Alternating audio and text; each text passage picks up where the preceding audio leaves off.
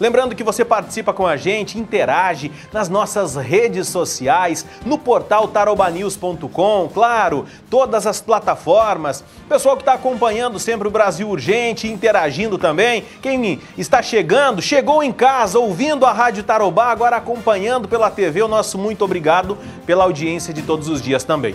E eu começo o Brasil Urgente direto de Foz do Iguaçu, mostrando a movimentação da Ponte Internacional da Amizade. Você vê comigo então esse movimento que normalmente é bastante intenso nesse horário, mas em alguns dias é mais tranquilo. Agora, por exemplo, a fila é bastante expressiva de caminhões entrando no Paraguai. Percebemos aí um pouco de fumaça de novo, né? A claridade aí acaba é, refletindo, mostrando também que temos novamente essa, essa nuvem de fumaça na fronteira que nos últimos dias tem preocupado tanta gente aqui na região também. E por falar em preocupação, você que gosta, que admira, que ama os animaizinhos de estimação, você sabe que é necessário um cuidado especial. As pessoas é, têm se mobilizado cada vez mais, seja através de organizações não governamentais, enfim, têm tentado ajudar, resgatar esses animais. E em Cascavel, vários exemplos mostram que o trabalho tem dado certo. Diversas instituições têm aparecido, surgido, mas Todas elas têm enfrentado muitas dificuldades, principalmente dificuldades financeiras. Hoje foi dia de manifestação e a nossa equipe acompanhou essa manifestação que aconteceu próximo à Câmara de Vereadores. Helen Santos traz informações a respeito do que as ONGs precisam em Cascavel. Muitos animais vivem em situação de rua. Diariamente estão correndo riscos. Em Cascavel, diversas ONGs fazem o resgate de animais, mas todas estão sobrecarregadas. Pensando nisso, elas realizaram uma mobilização em frente à Câmara de Vereadores, onde pediram ajuda para continuar essa luta. Olha, essa iniciativa vem de gritos de socorro, de pedido de socorro. Hoje nós temos mais de 300 pedidos no 156 de casos de maus tratos. E nós precisamos de uma delegacia especializada para cuidar não só de cães, a gente tem muitos, mas a gente tem é, cortes de árvores, nós temos lixos nos rios, né? Tem muita coisa. E hoje o pessoal que está cuidando não dá conta. Enquanto as ONGs estão sem ajuda, as dívidas se acumulam. Hoje, para vocês terem uma ideia, nós como ONG, né, nós somos da Latidos do Bem, nós estamos com uma dívida de 46 mil reais em uma clínica só. Tá? E isso que há dois meses atrás nós zeramos as nossas dívidas, né? Então, em menos de dois meses nós já estamos. E só casos de desespero a gente atende, né? Então, é muito, muito animal é, solto em Cascavel. Hoje a gente tem quase 60 mil animais em situação de rua. O pedido urgente das ONGs é a construção de uma casa de passagem para animais aqui em Cascavel. Isso é um clamor. A gente tem pedido um local, uma casa de passagem, porque o que, que acontece? A gente até consegue tirar esse animal da rua Enquanto isso não acontece, todos podem fazer a diferença. Né? Você que tem, que gosta da causa animal, que tem esse coração voltado, junte-se a nós. Vamos fazer a diferença na vida desses bichinhos. Era por volta de cinco... Que Cascavel é um dos municípios que realmente é, se preocupa com essa situação. O poder público também. Acompanhando isso de perto, a gente percebe que existe uma preocupação, um investimento em castração, investimento em clínicas e em hospitais veterinários. Aí você pode estar assistindo e se perguntando, meu Deus, uma dívida tão alta, né? Será que não existe um trabalho dessas clínicas, desses hospitais veterinários voltados a a essas ONGs, ao cuidado desses animais de rua? E existe sim. Cascavel, como eu disse, está muito avançado no comparativo com muitas cidades, porque existe uma parceria muito interessante, seja do poder público ou através da iniciativa privada. Muitos hospitais e clínicas veterinárias atendem a preço de custo esses animais, cobrando apenas o necessário, o medicamento e, claro, muitas vezes nem cobra pelo serviço prestado, mas sim a demanda é muito grande e, claro, toda ajuda é sempre muito bem-vinda, porque, afinal de contas, estamos falando falando de vidas, vidas de animais que também são vidas e precisam ser respeitadas. Eu vi uma das faixas ali, alguém pedindo cadeia para maus tratos a animais, e eu sou favorável a isso também. Eu acredito que a gente precisa sim punir exemplarmente quem simplesmente maltrata um animal para se divertir e acontece muito. E tem gente que não, não faz dessa forma para se divertir. Mas agora, se for para você ter um cachorro no fundo do seu quintal, preso a meio metro de corrente, ah, meu amigo, por favor, aí você, você precisa de fato rever a, a necessidade e o porquê que você tem uma vida presa com a liberdade cerceada aí no quintal da sua casa. Repense e repense os seus valores também. Agora faltando 14 minutos para as 6, Júnior Rocha. Eu quero falar com o Júnior Rocha, que vai participar ao vivo do Brasil Urgente, trazer informações sobre o que é que está acontecendo, porque normalmente temos informações que preocupam, mas também temos boas informações que temos mostrado no Brasil Urgente. Júnior Rocha está na Praça da Paz aqui em Foz do Iguaçu, vai trazer detalhes a respeito de uma ação da Guarda Municipal. E tem se tornado cada vez mais frequente esse tipo de ação, né, Júnior? Boa tarde. É isso mesmo, Jean. Boa tarde. Boa tarde principalmente a você de casa. E essa ação da Guarda Municipal foi diferente, né? Não foi aí contra é, criminosos, não foi prendendo, apreendendo algo, e sim levando aí um pouco mais de alegria para a vida de um pequeno. Marcos, de 4 anos, teve a sua festa de aniversário aí com o tema justamente da segurança pública.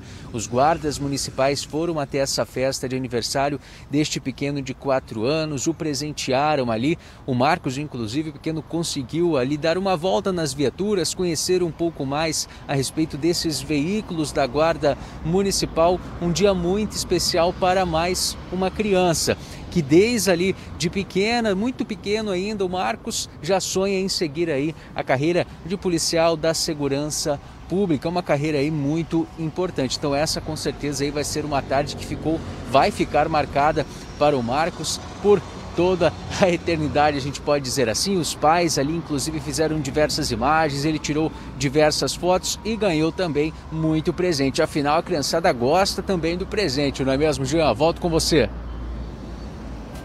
Olha que legal, obrigado Júnior Rocha pela informação, claro. Inclusive, é, recupera para mim as imagens, por gentileza, desse, desse contato, essa proximidade, porque eu, eu, sou suspeito em falar. Eu acredito que a gente precisa sim aproximar a criançada das autoridades, da polícia. Olha, falando com relação aos meus filhos, eu sempre procurei, desde que eles eram bem pequenos, inclusive, colocá-los em contato. E lamentavelmente eu já acompanhei por diversas vezes alguns pais assustando até mesmo a criança. Para que a criança se comporte, ou, ou você se comporta ou eu chamo a polícia. Tá errado, não pode fazer isso. Inclusive, a, a criança tem que entender sim que a, a, polícia, que a guarda é amiga, é parceira e com isso também vai ocorrer um respeito. Não é medo, é respeito e assim tem que ser. Então, parabéns novamente à Guarda Municipal de Foz do Iguaçu, parabéns aos pais que procuram esse tipo de atendimento também, porque eu tenho certeza que uma criança que cresce acompanhando algo desse nível vai crescer tendo consciência do que é certo e do que é errado também. Beleza? Tá certo então. Vamos seguindo. E agora eu quero falar com você que transita pela nossa região, por rodovias federais, pelas estradas aqui do nosso Paraná, mas é, precisa sempre estar atento, justamente porque estamos em um período onde o movimento tem aumentado próximo a feriados, inclusive semana que vem, 7 de setembro, você já sabe que é, é, próximo do 7 de setembro as rodovias devem de fato estar bastante movimentadas. E é por isso que a Polícia Rodoviária Federal lançou a Operação Independência. E hoje o Júnior Rocha e o Valmir Schwingel foram conversar com os policiais para trazer mais informações sobre o que é que está sendo abordado e qual o objetivo dessa operação. Polícia Rodoviária Federal iniciou a Operação Independência de 2021 em todo o país. Durante os feriados, segundo o órgão de segurança, há um aumento relevante do fluxo de veículos e de ônibus de passageiros nas rodovias federais. E tudo isso contribui para o aumento da violência no trânsito. A operação, que segue até terça-feira da semana que vem, vai priorizar ações voltadas à segurança viária, prevenção e redução da gravidade dos acidentes de trânsito e a garantia da mobilidade nas rodovias de todo o país. Será dada uma atenção maior às ações de combate à embriaguez ao volante, respeito ao limite de velocidade e combate também às ultrapassagens proibidas, principalmente em locais de pista simples. E olha, a fiscalização também será voltada para o uso do cinto de segurança, que pode sim salvar vidas, do capacete, das cadeirinhas para as crianças, que é de extrema importância, além de fiscalizações específicas de motocicletas e condições de conservação dos veículos. Operação importantíssima da Polícia Rodoviária Federal, Operação Independência. No Paraná, as pessoas devem ter o máximo de preocupação, porque realmente aumenta o seu movimento, aumenta as, as possibilidades de acidentes graves. Então, sempre o um máximo de cautela, direção defensiva, baixa velocidade, prevendo até as possibilidades do que acontece na rodovia, que é um trânsito totalmente diferente de uma via urbana. Então, sempre o um máximo de cuidado. A PRF também intensificará sua atuação no combate ao crime, em especial realizando abordagens focadas nas informações do serviço de inteligência do órgão e a utilização de ferramentas de comunicação. É, com o aumento do movimento, esse grande fluxo de veículos, a gente não tem como esquecer não tem como não atuar também no combate ao crime organizado, que com certeza eles se aproveitam dessa situação, desse movimento, para conseguir também fazer o transporte de ilícitos aos grandes centros do mercado internacional. Então, com certeza, a Polícia Rodoviária Federal também vai ficar atento para poder coibir essas organizações criminosas.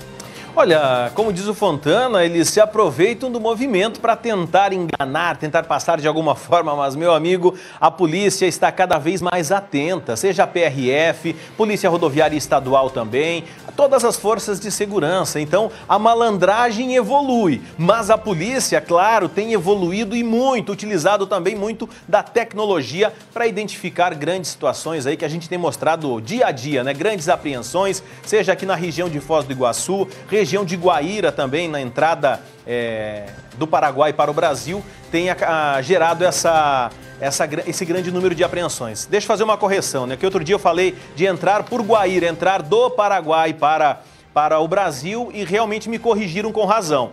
Do Paraguai se vai ao Mato Grosso do Sul, do Mato Grosso do Sul, então se entra no Paraná, ok?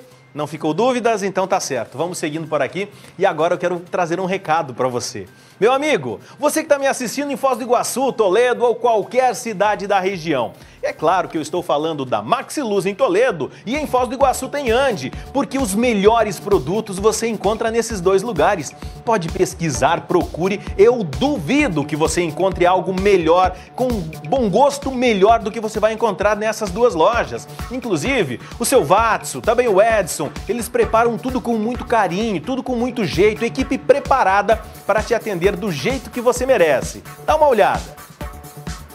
Gente, aqui na Andi Materiais Elétricos em Foz e na Maxiluz de Toledo, tem um espaço criado especialmente para você, cliente, arquiteto ou engenheiro, poder discutir os projetos luminotécnicos do seu empreendimento. Os profissionais que irão lhe atender são especializados no assunto e também podem ir até a sua obra para te orientar e dar segurança na sua decisão. E aqui mesmo você já pode escolher produtos como arandelas, plafons e os modernos perfis de LED, que vão trazer um requinte na iluminação dos seus ambientes. E você sabe, a iluminação faz toda a diferença. Venha discutir o projeto da sua casa, do seu apartamento ou do seu negócio conosco. Ande Materiais Elétricos em Foz e Maxiluz em Toledo. Esperamos por você! Legal, falamos de Foz de Toledo. Inclusive, Toledo, tem alguém de Toledo assistindo aí? Manda uma mensagem pra gente no WhatsApp 991537957. Daqui a pouquinho manda um abraço para quem tá assistindo também, pode ser? Mas agora é hora de um golinho da água. É um pé lá, outro cá. Eu volto com mais informações. Permaneça conosco aqui na tela da Tarobá. Imagens ao vivo, BR-277, sentido Ponte da Amizade. Veja comigo neste exato momento aqui em Foz do Iguaçu.